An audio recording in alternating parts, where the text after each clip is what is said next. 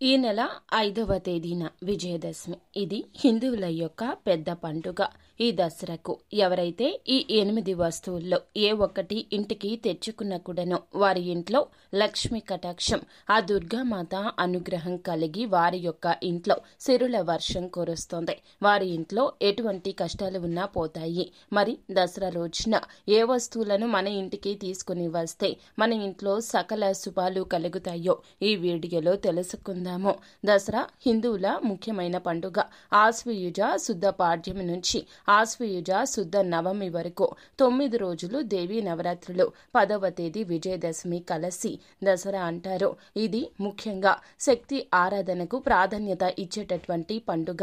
ఈ పండుగను నవరాత్రి శరణవరాత్రి అని కూడా అంటారు. శరదృతువు ఆఖరిలో వచ్చే పండుగ కనుక ఈ పేరు వచ్చింది. కొందరు ఈ పండుగకు మొదటి మూడు రోజులు పార్వతీదేవికి తరువాత మూడు రోజులు లక్ష్మీదేవికి ఆ తర్వాత మూడు రోజులు సరస్వతీదేవికి పూజలను నిర్వహిస్తారు. బొమ్మల కొలువు పెట్టడము ప్రధాన ఆనవాయితీగా వస్తుంది. ఆలయంలో అమ్మవారికి ఒక్కొక్క రోజున ఒక్కొక్క అలంకారాన్ని గావిస్తారు. పదవ రోజున పారువేట ఉంటుంది.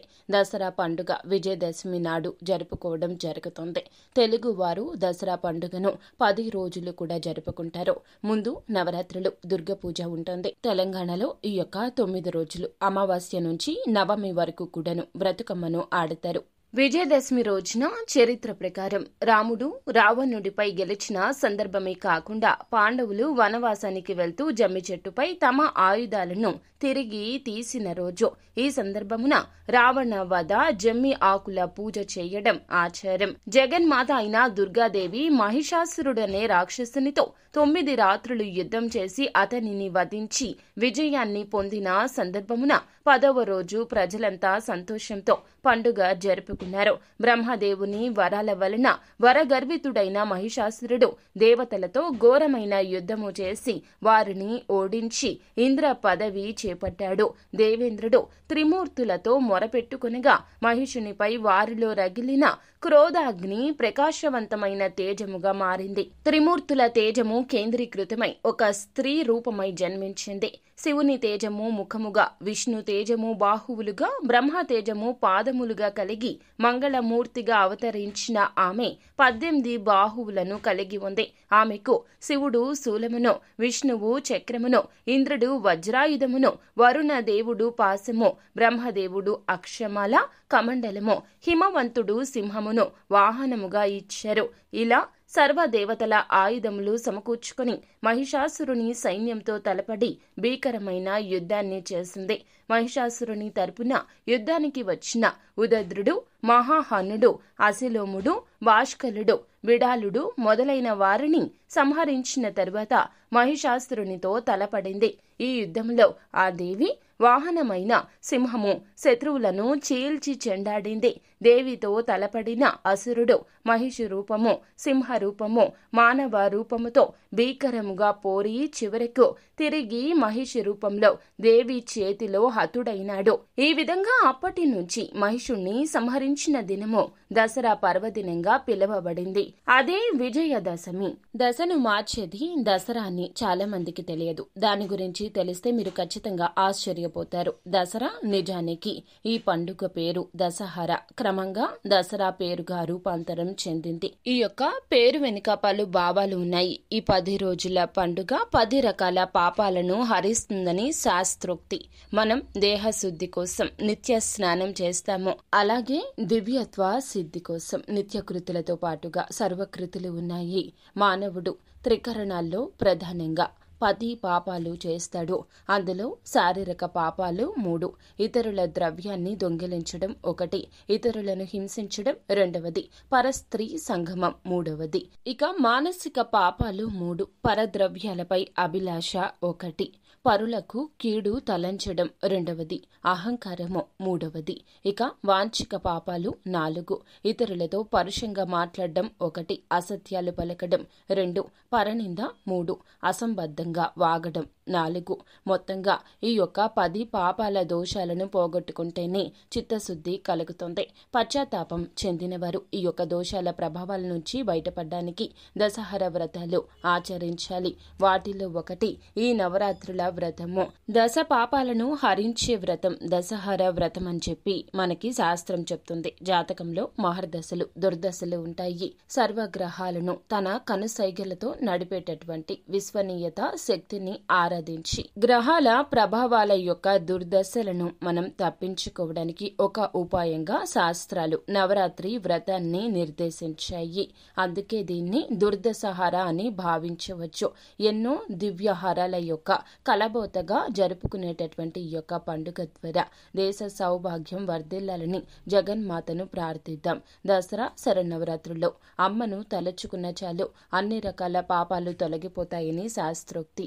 ఈ దసరా నవరాత్రుల్లో. ఈ మంత్రాన్ని ఒక్కసారి చదువుకున్న చాలు. వారి ఎంతటి దరిద్రం అయినా కూడా పోగొట్టి సకల ఐశ్వర్యాలు కలగచేస్తుంది దుర్గమ్మ. ఆ దరిద్ర నాశన మంత్రం ఏమిటంటే గనక ఓం హ్రీం త్రిభువన పాలిన్యై మహాలక్ష్మై అస్మాకం దారిద్ర్యం నాశయ నాశయ ప్రచురం ధనం మే దేహి దేహి క్లీం హ్రీం శ్రీం ఓం ఈ మంత్రాన్ని దసరా నవరాత్రుల్లో ఒక్కసారి పాటించిన చాలు. మీ దరిద్రం మొత్తం తొలగిపోతుంది. వారి ఇంట్లో ధన ప్రవాహం కలుగుతుంది.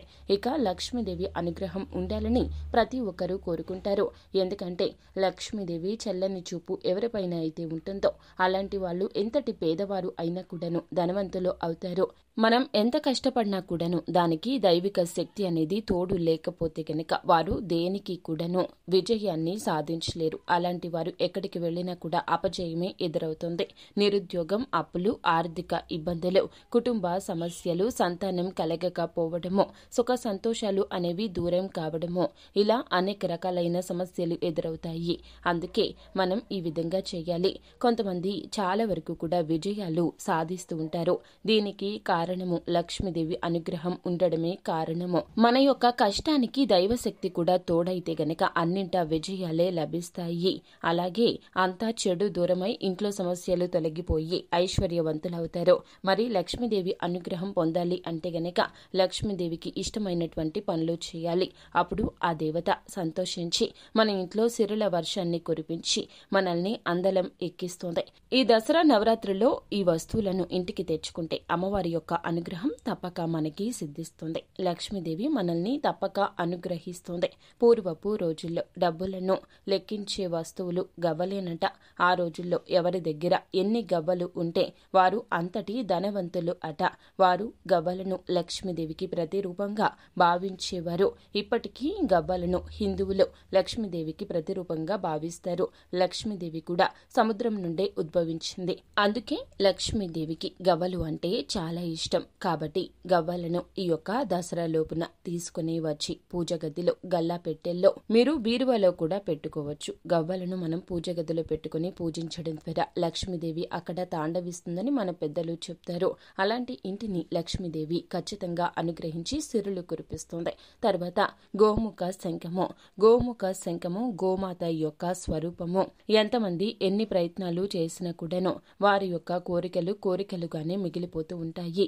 మీ యొక్క కోరికలు తీరాలి అంటే ఈ గోమాత శంఖాన్ని తీసుకుని వచ్చి ఇంట్లో పూజ గదిలో వెంకటేశ్వర స్వామి పటం ముందు ఉంచుకొని ధూప దీప నైవేద్యాలతో పూజలు చేసుకోండి. ఇలా చేయడం ద్వారా లక్ష్మీదేవి అనుగ్రహాన్ని పొంది మీ యొక్క కోరికలు నెరవేరి ఐశ్వర్యవంతులు అవుతారు. అలాగే లక్ష్మీదేవికి ప్రతిరూపం అయినటువంటి తామర గింజలను దసరాలోపు తెచ్చుకొని మన ఇంట్లో పూజ గదిలో ఉంచుకొని పూజించుకున్నట్లయితే గనక సకల ఐశ్వర్యాలు కలిగేలాగా లక్ష్మీదేవి దీవిస్తుంది. దసరాలోపు గురి గింజలను తీసుకుని వచ్చి మీ ఇంట్లో పూజ గదిలో వ్యాపార సంస్థల్లో గళ్ళాపేటల్లో బీరువాల్లో ఉంచుకోండి. ఇలా ఉంచుకోవడం ద్వారా మీరు ఏ పని మొదలు పెట్టినా కూడా విజయం లభిస్తుంది. ధనాన్ని ఆకర్షించి మిమ్మల్ని ఐశ్వర్యవంతుల్ని చేస్తాయి. అదేవిధంగా కుబేర యంత్రాన్ని వ్యాపార సంస్థల్లో ఫ్యాక్టరీల్లో సినిమా హాల్స్లో ఇలా వ్యాపార సంస్థల్లో ఉంచుకోవడం ద్వారా వ్యాపార అభివృద్ధి జరుగుతుంది. అలాగే స్ఫటిక స్త్రీ యంత్రం. ఈ యొక్క స్ఫటిక స్త్రీ యంత్రాన్ని మీ పూజా మందిరంలో లేదా వ్యాపార సంస్థల్లో ఉంచుకోండి. ఇలా ఉంచుకున్నటువంటి మొదటి రోజు నుంచి మీకు ఫలితం అనేది కనిపిస్తుంది.